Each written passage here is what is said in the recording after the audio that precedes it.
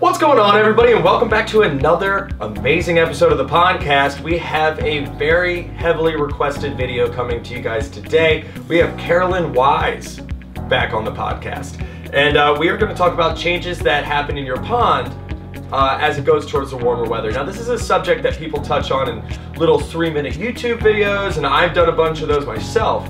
But here's somebody who actually knows the science, and we're going to take two steps further into this subject so that, you know, when you're sitting outside having a, an iced tea with your buddy and he asks what all this stuff is that's going on in your pond, you can actually uh, impress them a little bit. So I learned a bunch. Hope you learned a bunch. This is uh, the PondCast brought to you by Webs Online. Let's see what she has to say.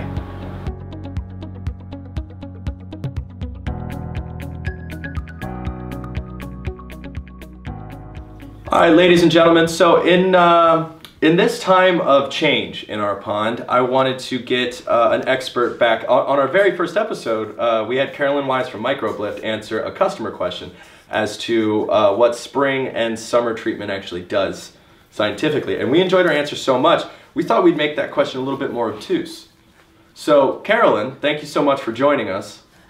You're welcome. My question to you is, generally, what is the, the science behind a pond as it goes through its spring change? Ah, there's a couple of things. First, the biological oxygen demand is going to increase as everything becomes more lively. The fish need more oxygen. The bacteria become active plants are going to start to grow and, and produce their, uh, they're going to use oxygen in their photosynthesis. So everything needs more oxygen. Um, as the weather gets warmer, you're going to, uh, going to have to increase your flow of oxygen, turn on the waterfalls, get your circulation going, and um, add bubblers if you, if you have them.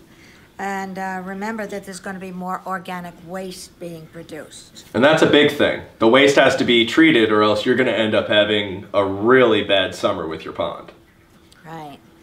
And, and speaking from Microbe Lift, I can tell you that we have, have two products that are Microbe Lift PL and, and Microbe Lift Sludge Away that will do both do a great job of not only reducing the organic waste that you've got that's robbing oxygen from your pond and increasing the oxygen that's available to your fish and, and your plants that are in there.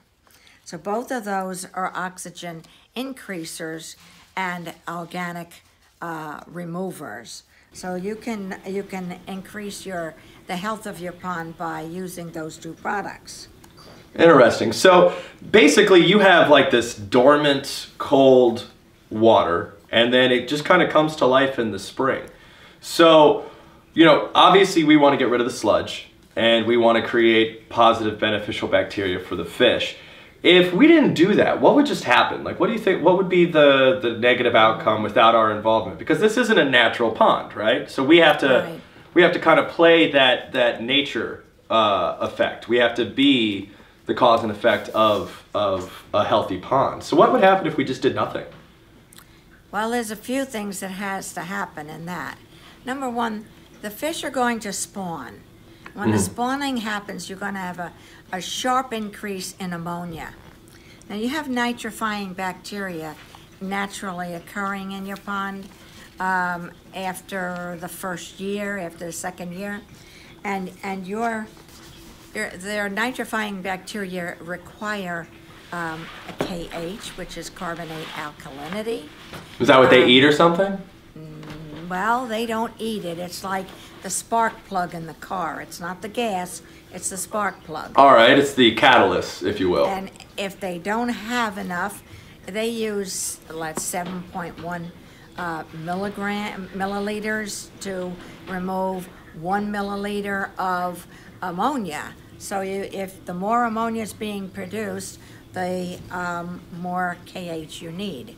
So instead of watching your pH, you need to watch your KH. Pretty soon, the KH is going to go bye-bye, um, and your, your fish are going to suffer.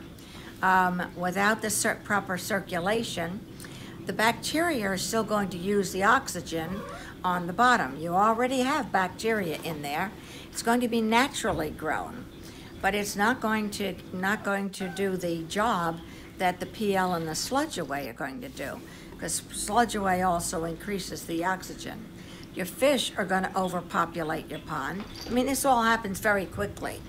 And as the water increases, uh, the temperature increases, um, you're going to wind up with a what I call a pH crash. As okay. that KH drops down below 80 parts per million, you have a pH crash. So um, I've, I've heard from people um, all this past year who've had had that they say my fish are dying. Um, I I don't know what's happening to them. No, they're dying of something very healthy. There's no signs of any illness. There's no signs of any sores, but they uh, but but I'm losing two, three, five a day. Wow, what an awful phone call. I hope that I hope you get other phone calls other than that. By the way, but you know, if you don't have the circulation going and the aeration in there, yeah. they have they have no they have no resource. And if you aren't doing either water changes or, or monitoring that KH so that you can intervene, um, you don't have that. And if you aren't using, using something to clean the bottom of your pond, like the PL and the sludge away, um, something's going to happen to your fish. Understood. All right, so you guys now know what should be happening and what the science is of a healthy spring pond with your influence and uh, let's call it a pond nightmare if you guys were just to leave it alone. And uh, one of the biggest takeaways here is, uh, and I think I heard you say this, I'm going to paraphrase, this all happens really fast. It does happen fast. So make sure you guys are staying on top of everything. And Carolyn, thank you so much for answering this question. This was just kind of bouncing around in my head like, I don't know of anybody who just did a science experiment on their own pond in their own backyard and their own property, but I was always curious, like, when, what, what would happen if I just stopped? You know, obviously, I promise you, I'm not going to stop the call. You're fine. And remember one other thing. Uh, it's probably about 95% of the ponds out there mm-hmm. are already overstocked.